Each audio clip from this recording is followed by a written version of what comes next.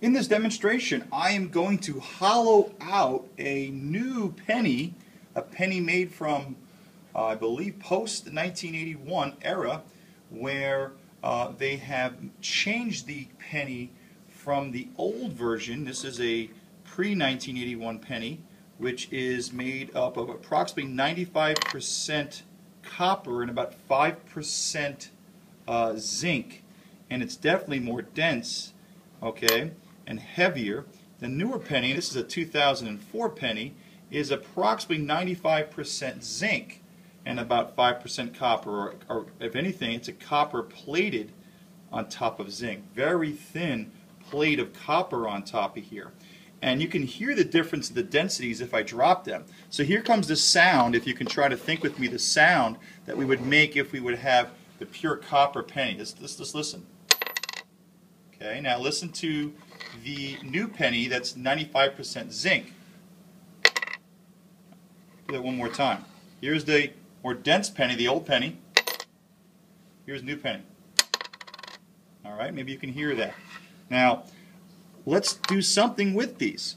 Since the new penny is 95% uh, uh, zinc with just a copper uh, plated, very thin um, amount of copper plated on the outside of the, uh, of the zinc, we can do some redox reactions that are pretty cool with it. This is almost pure copper, and it's 95% all the way through.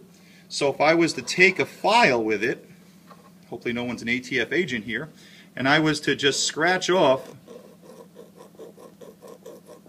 the outside, if you can see that, I'll just try to focus here, you can see that I've just made, just probably take some oxidation off, and that's still the same color of copper. All right. Now, if I do the same thing with the new copper-plated zinc coin, okay, post 1981. All right, I do the same thing, and I take a file and I just etch out. You should see that I get a a silver-colored type of color here which is indicative of the zinc, trying to focus on it. So you can see that that's not the color of copper. Okay, that's the zinc coming through. And I'm going to do that to another side of it. Because this is pure zinc, it's the reason why it's not as dense. And I'm just going to etch out or just scrape off the very thin copper coating and expose the zinc on this side. Alright, you can see I exposed the zinc Let's make sure I do that really well. And I expose the zinc on the other side. And I'm going to put that in an evaporating dish and I'm going to put some hydrochloric acid in it.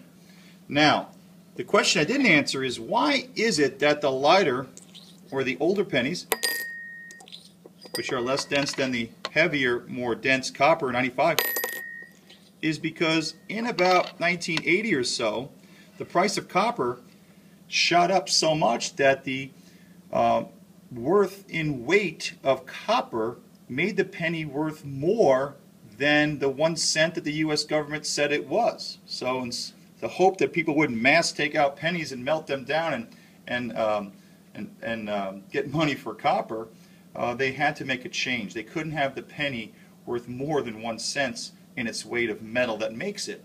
So they went to a cheaper metal, which of course is our zinc and they just copper plated it. Now that adds some interesting demonstrations we can do. We know that copper is resistive to oxidation by H pluses, and we know that from the net potential table. If I just zoom up here and look at my net potential table at some point, and I would see, if I can see it, which I can't, let me just change my focus. Thank you. Now if I look at my net potential table, and I'm going to zoom in here so we can see the place that always to start would be the um, standard cell. And the standard cell is right here, right in the middle, we the zero voltages. And we can see that our H pluses get reduced from the acid and they're strong enough oxidizing agent to force the oxidation of all these metals above. When you talk about oxidation, you talk about these half reactions going this way. This is a reduction potential table that shows you the voltages. So going this way would be an oxidation potential, so these are positive. So all of these, when you go this way, these metals are positive enough to force H plus to reduce.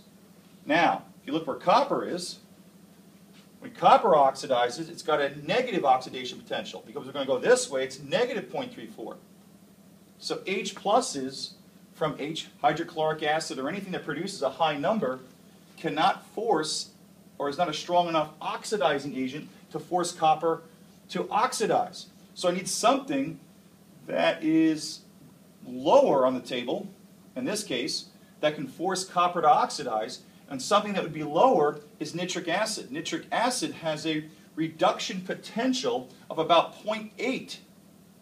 So it's 0.8 volts below the copper. It's, it would be listed here. I don't have it on this table. Is 0.8.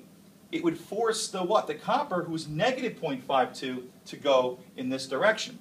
So the H pluses for the acid will react with the zinc. Where's the zinc? Or zinc is a reactive metal who is above here. Right? It'll react with the zinc because zinc, when it oxidizes, is positive 0.76 in, in combination with the H+. plus. That's why the standard cell made those values. But the copper who's below it is not. So I can hollow out this penny with hydrochloric acid. So let's do that. Let's take some of our,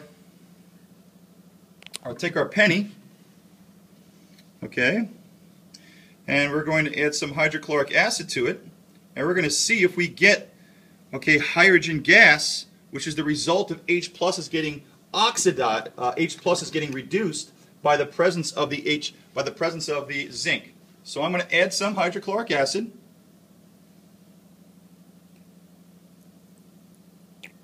And hopefully we see some fizzing. Now, we put the fizzing, we should see is occurring where I etched out the what?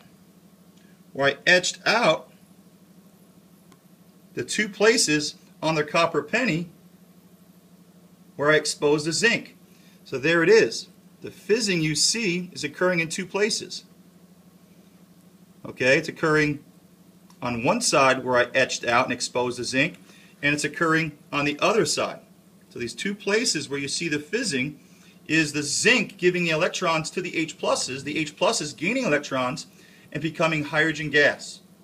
If we let this sit for a while, what we get is a hollowed out penny. The H plus doesn't react with the what? Does not react with the copper. It's not strong enough. You would need something like nitric acid to do that, as I've shown you other, other reactions. So this would work for an hour or so, depending on your concentration of your acid. And what we would get is we would get a penny, like the one I'm about to show you, which is hollowed out. So move this to the side. And here is my hollowed out penny. You can see where that's where I was, that, that black, that dot is the hollow part. That's where the zinc was.